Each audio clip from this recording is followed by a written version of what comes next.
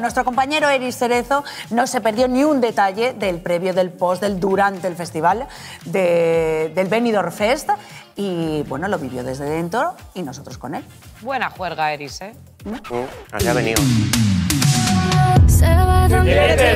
del Festival de Benidorm. El Festival de Benidorm llega a su final. Un broche de oro musical lleno de emoción de artistas con ganas de pisar Eurovisión y donde la polémica no se ha quedado atrás. Llámame, Te estoy viendo que has venido casi color de la roca. Pero lo, lo he hecho aposta. Sabía que tenía entrevista con La Roca y entonces he venido así. Roca, sí, rosa, rosa, todo.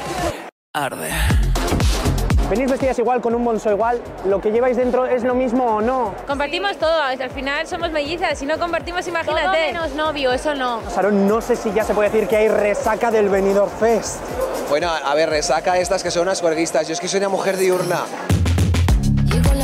Volver aquí, ¿cómo es para ti? Ha sido como un cúmulo de emociones, de sensaciones, de hecho me he puesto a templar y todo de los nervios. ¿Quién es tu mayor fan? Mi mayor fan. Te lo voy a decir yo, mi cámara. ¿Ah, sí? Hola. Que no me ha quedado claro, ¿la venda ya cayó o no cayó? Ca- cayó, cayó y, y quedó la alegría y luego volvió a caer la venda, ya cayó y ya y empezaron nuevos días. ¿Hay demasiados fans de la polémica?